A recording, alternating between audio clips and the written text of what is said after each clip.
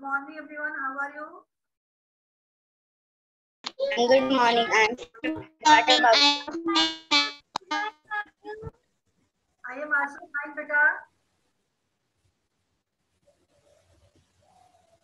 आज के सेशन में आप लोगों को पाँच व्याख्या माँ का एक कहानी पूरा हो गया था पाँच व्याख्या Yes, उस पे डिस्कस हो रहा था प्रश्नों पे डिस्कस हो रहा था। हाँ बेटा? मैम आपकी वॉइस प्रॉपर नहीं आ रही है। मैम आपकी वॉइस कट कट कर आ रही है। हाँ बेटा चलिए। अब मेरी आवाज़ जा रही है बेटा? चेहरा दिख रहा है इनका दिख रहा है यहाँ वॉइस कट कट के आ रही है ये ये बोलेंगे कुछ प्रॉब्लम हाँ चलिए बेटा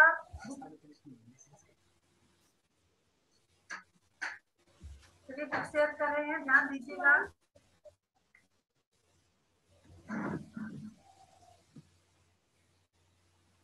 अब आप लोग बताएँगे, इसमें कहाँ तक कंप्लीट हुआ था? पाठ व्याख्या तो हमें लग रहा है पूरा हमने कंप्लीट किया था। क्यों बेटा? आपका बुक भी चल रहा था ना? Yes ma'am yes ma'am yes ma'am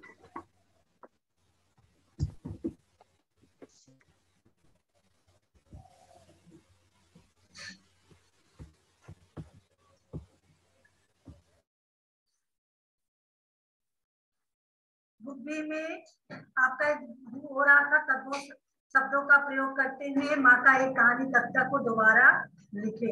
तो सभी लोग कंप्लीट किए उसको लिखकर? हाँ बेटा? चलिए बेटा अब आप लोग। आप लोग ध्यान देंगे यहाँ पे आप लोगों को मैथिली शरण गुप्त के बारे में जानकारी एकत्र करके लिखना है। है ना? क्या लिखना है? मैथिली गुप्त के बारे में जानकारी एकत्र करना है। तो आपने मैथिली शरण गुप्त के बारे में कभी पढ़ा है? हाँ बेटा? यस मैम मैम के बारे में जानते हो? यस मैम यस मैम चलिए आज सब बताएँगे अगर कुछ जानती हो तो उनके बारे में। मैथिली शरण गुप- गुप्ता जी का जन्म दो तीन अगस्त 1886 को हुआ था।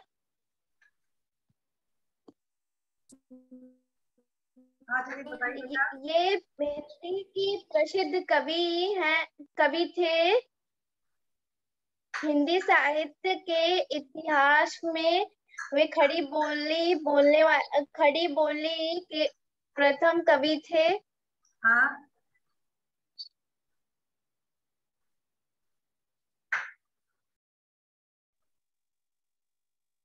इन्हें साहित्य ज, साहित्य जगत में बताइए बेटा बोलिए।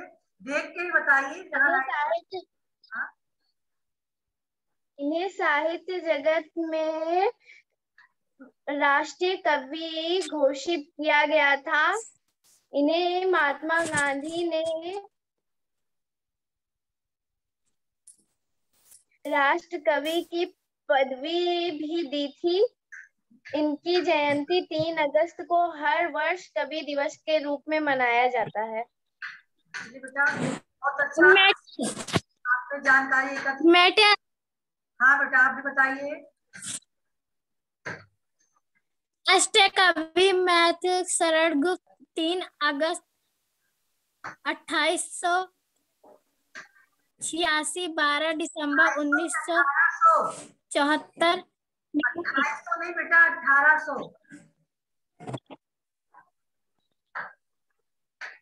अठारह सौ हिंदी ये हिंदी के प्रसिद्ध ये हिंदी के प्रसिद्ध कवि हैं। कवि थे हिंदी साहित्य के इन इतिहास में वे खड़ी बोली के प्रथम महत्व कवि हैं। इन्हें सहायता सहायता तागत में नाम मेरी आवाज़ तो सुनो कम से कम। आप सही बताइए ना साहित्य नहीं है साहित्य। साहित्य। आपने साहित्य साहित्य पढ़ा साहित्य। चलिए फिर से बोलिए। साक्षी। साक्षी चलिए बेटा बताइए मैं बुक के बारे में जगत नाम संबोधित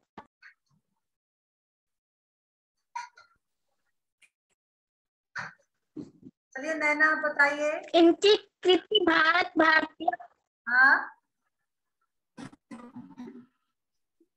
भारत भारती पंचवटी जयद्रथ व्रत नहुष नाटक है इनका। बहुत सारी कृतियाँ हैं इनकी। कृति भारत, भारतीय उन्नीस सौ बारह भारत में स्वतंत्रता संग्राम के समय में काफ़ी प्रभावशाली हुई थी इसका कारण गांधी ने उन्हें, इस कारण महात्मा गांधी ने उन्हें राष्ट्रीय कवि के पदवी भी दी थी इनकी जयंती तीन अगस्त को हर वर्ष कवि दिवस के रूप में मनाया जाता है सन उन्नीस सौ चौरासी में भारत सरकार ने इन्हें से सम्मानित किया। इस तरह ब्रजभाषा जैसी सिद्ध काव्य भाषा को छोड़कर समय और संदर्भ से अनुकूल होने का कारण नए कवि ने इसे अपनी कहत अभिव्यक्ति का महत्व बनाया। हिंदी कवि के इतिहास में कभी गुप्त जी का सबसे इतिहास में। है। हिंदी काव्य इतिहास। चलिए, बहुत अच्छी जानकारी आपने एकत्र की। सभी बच्चे ऐसे ही जानकारी एकत्र करके यहाँ राइट करेंगे। है ना? कोई किसी की चीटिंग नहीं करेगा। आप लोग खुद से जानकारी दीजिए अभी आपने सुना भी है। और कोई सुनाना चाहेगा? हाँ? नैना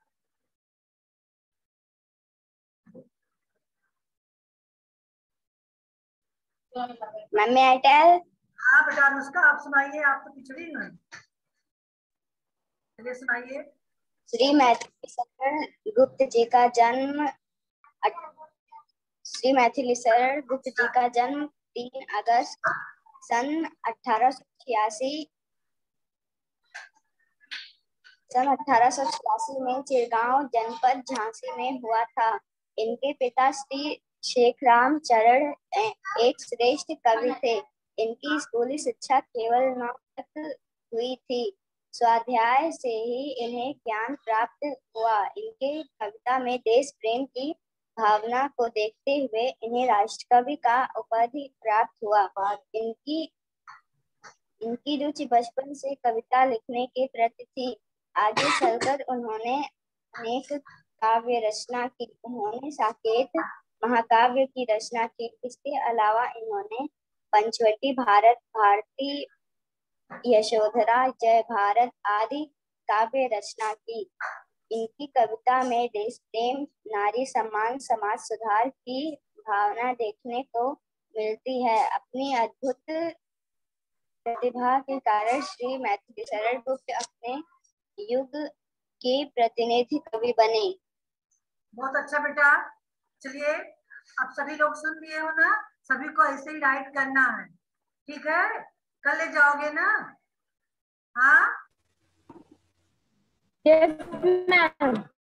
यस सभी लोग कर लेंगे जानकारी। अब चलते हैं हम। दूसरा क्वेश्चन सिद्धार्थ का हंस। इस पे हम चर्चा करेंगे। यहाँ केवल चर्चा होगी लिखने वाला काम आप लोग घर पे करेंगे। ठीक है? चर्चा में करना है। चलिए सभी लोग अपनी अपने दिमाग बुद्धि से बताइएगा। सिद्धार्थ ने हंस को बचाकर सही किया या गलत? अपने विचार लिखे। लिखने वाला काम बाद में होगा, हमने कहा। बताने वाला काम यहाँ होगा। तो चलिए, शिवानी, आप बताएँगे। सिद्धार्थ ने हंस को बचाकर सही किया या गलत? सिद्धार्थ ने उसको बचाकर सही किया, क्योंकि हमें क्योंकि वह घायल था। बेटा आपकी आवाज़ क्लियर नहीं आ रही जहाँ आपके मोबाइल हो वहाँ आप माउस करके बैठिए तो आवाज़ आपको आप क्या कहिए कुछ बात सिद्धार्थ ने हंस को बचाकर सही किया क्योंकि हंस बहुत घायल था। मत जाइए देखिए आप झूला झूल झूल के बता रही हो। पीछे जाती तो आवाज़ कटने लगती है आपको। आगे ही माउस करके आप बोलिए। चलिए बोलिए। सिद्धार्थ ने हंस को बचाकर बहुत सही किया क्योंकि वह बहुत घायल था उससे हमें सबकी मदद करनी चाहिए। चलिए विचार तो है लेकिन इतना छोटा नहीं होना चाहिए क्योंकि आपका पेज कंप्लीट करना है। इस पेज को देख रही हो? इसमें फुल करना है। चलिए बताएँगे अनुष्का। सभी लोग बताएँगे तभी पेज फुल होगा। चलिए अनुष्का। सिद्धार्थ ने हंस को बचाकर सही किया क्योंकि उस हंस का कोई दोष नहीं था गलती तो उस का, शिकारी का की थी जिसको अपने निशाने पर गर्व और घमंड था। हमें कभी किसी भी जीवों को चोट नहीं पहुंचाना चाहिए और ना ही उसे परेशान करना चाहिए। अगर हम उस जीव की जगह पर होते हो तो जिस जीव को हम मार रहे हैं या उस पर उस, उसे चोट पहुँचा रहे हैं तो उसे कितना दर्द होता होगा। जब हमें कोई मारता है तो जितना दर्द हमें होता है, उतना ही जीवों को भी, अन्य जीवों को भी होता है। इसलिए हमें कभी भी किसी भी जीवों को नहीं मारना चाहिए। चलिए बरखा आप बताएँगे। सिद्धार्थ ने हंस को मारकर अच्छा किया है बुरा। सिद्धा सिद्धार्थ ने हंस को बचाकर सही किया क्योंकि हमें कभी भी किसी जीव को मारना नहीं चाहिए और वो शिकारी को घमंड था कि वह उसका निशाना बहुत अच्छा है और वह वह जीव उसमें फंस जाएगा। हमें कभी भी किसी जीव को मारना नहीं चाहिए क्योंकि जितना दुख हमें होता है उतना उससे कई ज़्यादा दुख उन्हें भी होता है। बहुत अच्छा। चलिए आस्था आप अपने विचार बताइए। सिद्धार्थ ने हंस को बचाकर सही किया क्योंकि मारने वाले से बड़ा बचाने वाला होता है।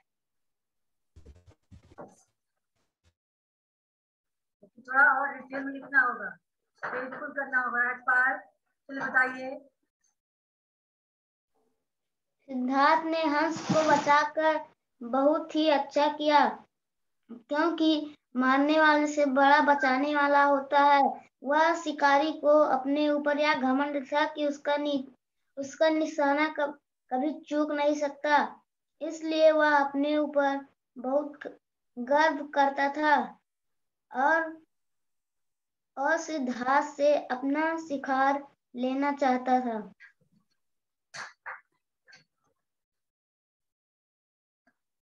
चलिए बेटा अब बताएँगे ममता ममता सोनकर आप भी अपने विचार बताइए बेटा।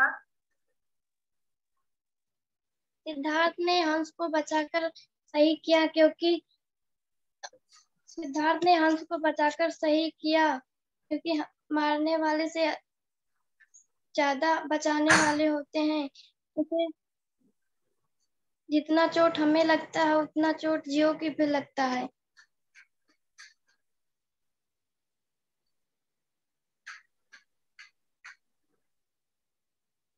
हमें किसी